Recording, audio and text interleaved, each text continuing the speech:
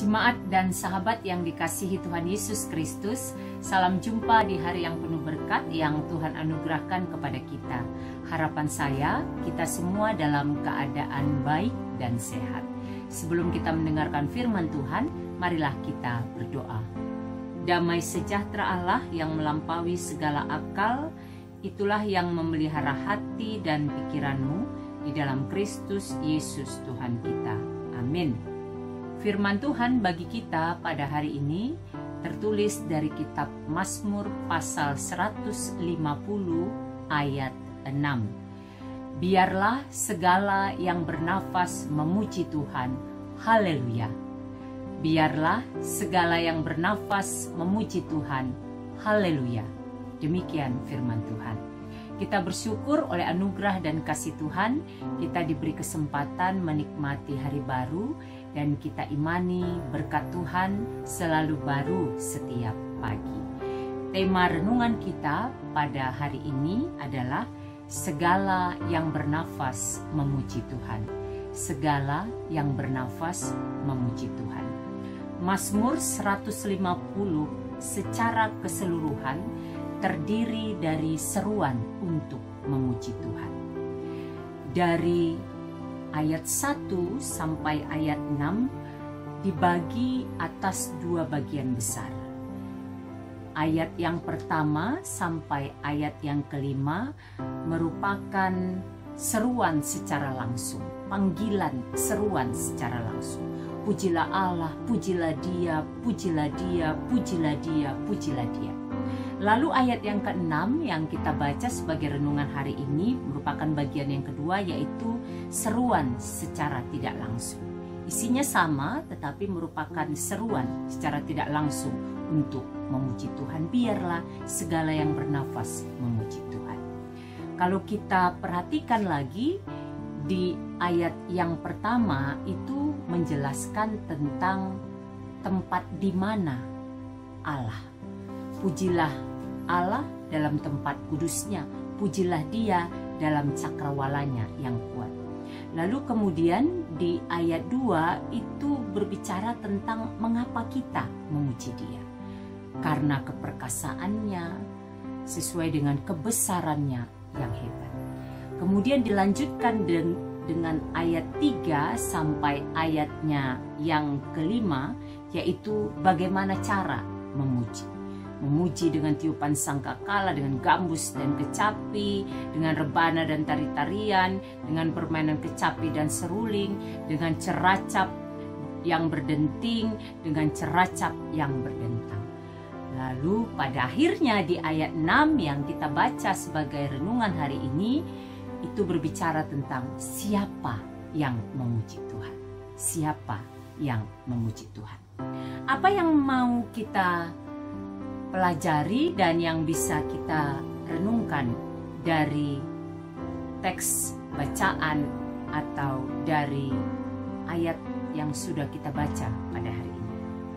Yang pertama, sadari dan pahamilah siapa kita di hadapan Tuhan. Sadari dan pahamilah siapa kita.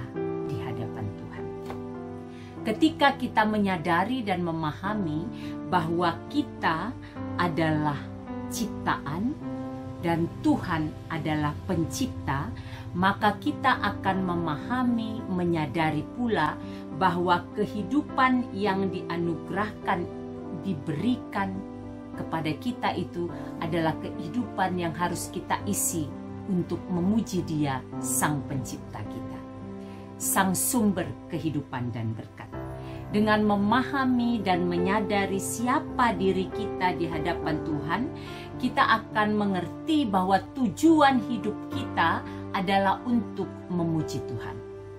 Kita akan memahami bahwa kehidupan yang adalah anugerah ini harus kita isi, kita jalani dengan memuji Tuhan. Apakah kita tidak punya pergumulan? Ada tetapi ketika kita memuji Tuhan, maka pada saat itu kita sadar bahwa kita tidak menghadapi pergumulan itu seorang diri. Tapi ada dia sang pencipta, ada dia sang sumber berkat kehidupan yang akan menyertai kita menghadapi beragam pergumulan kehidupan kita. Itu sebabnya agar kita memahami bahwa hidup kita adalah hidup yang memuji Tuhan, sadari dan pahamilah siapa diri kita. Yang kedua, sadarilah dan pahamilah bahwa hidup ini adalah anugerah Tuhan. Sadari dan pahamilah bahwa hidup ini adalah anugerah Tuhan. Ketika kita menyadari dan memahami bahwa hidup ini adalah anugerah Tuhan, tentu kita diajak untuk berterima kasih, memuji Dia, memuliakan Dia dalam kehidupan kita. Karena kita tahu hidup ini pemberiannya, maka harus kita pertanggungjawabkan kepadanya. Ketika kehidupan itu diberikan kepada kita, hidup yang adalah anugerah itu, maka akan kita isi dengan segala hal yang berkenan bagi dia sang pemberi anugerah kehidupan itu.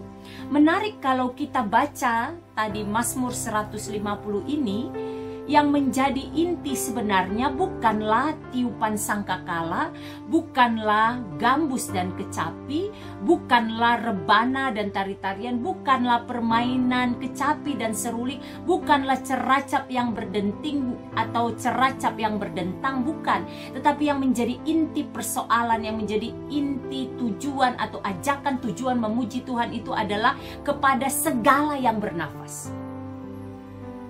Manusia, hewan, tumbuh-tumbuhan, segala yang bernafas. Lalu apa gunanya yang tadi alat-alat musik tadi? Pakailah itu untuk memuji Tuhan.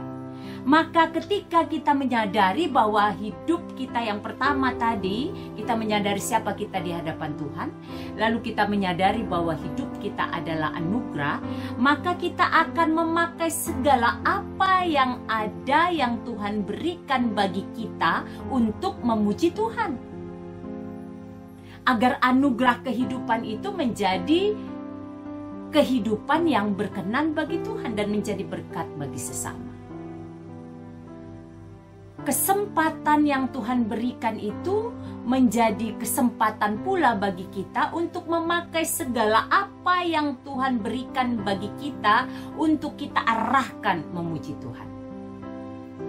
Jadi bukan alat-alatnya itu yang utama, tetapi hati manusia, hati segala yang bernafas yang memuji Tuhan itu yang akan memakai setiap apa yang Tuhan berikan, yang ia miliki, yang kita miliki saat ini untuk memuji Tuhan.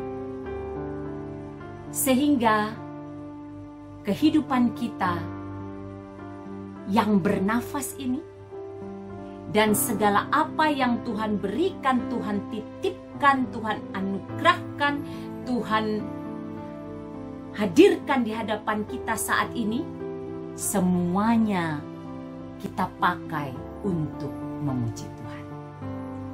Inilah yang menjadi berita sukacita bagi kita hari ini, sehingga ketika kita menyadari, memahami siapa diri kita di hadapan Tuhan, sehingga ketika kita menyadari dan memahami bahwa hidup ini adalah anugerah Tuhan, maka tiada hari tanpa memuji Tuhan.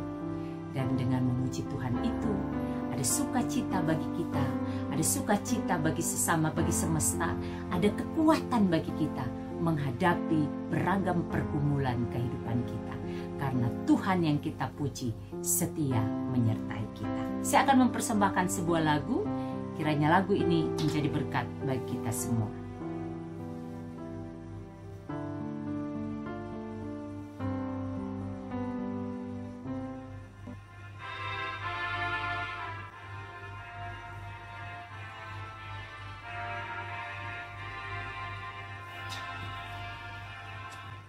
Pujilah Tuhan hai jiwaku. Mari bernyanyi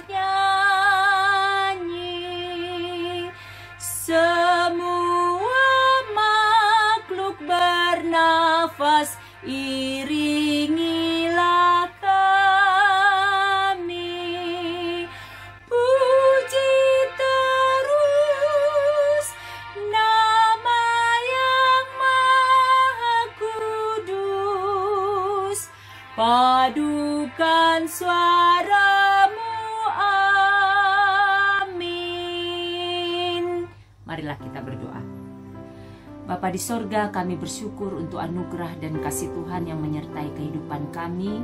Kami bersyukur untuk firman pada hari ini yang mengajak setiap kami yang bernafas memuji Tuhan. Bahkan ketika hati kami menyadari siapa kami di hadapan Tuhan dan menyadari bahwa hidup ini adalah anugerah Tuhan, maka kami akan memakai segala hal yang Tuhan berikan, yang Tuhan titipkan bagi kami saat ini, yang kami miliki, yang adalah berkat darimu untuk memuji Engkau. Sehingga kehidupan kami adalah kehidupan yang berkenan bagi Tuhan dan menjadi berkat bagi sesama dan semesta. Berkati kami agar kami menjadi pelaku-pelaku kebenaran firman-Mu. Berkati seluruh keluarga kami, berkati seluruh jemaat Tuhan, berkati seluruh hamba Tuhan, berkati bangsa dan negara kami, berkati pemerintah kami. Bagi saudara-saudari kami yang masih dalam pergumulan apa pun itu, Tuhan tolonglah, berbelas kasihlah bagi mereka, agar melalui belas kasih dan kuasamu, mereka boleh melampaui dan keluar dari setiap pergumulan yang mereka hadapi. Berkati segala apa yang kami kerjakan sepanjang hari ini agar menjadi kemuliaan bagi Tuhan dan menjadi sukacita berkat bagi kami dan sesama. Di dalam nama Yesus kami bersyukur dan berdoa. Amin. Selamat beraktivitas, sehat, semangat, dan sukacita senantiasa di dalam penyertaan Tuhan. Tuhan Yesus memberkati.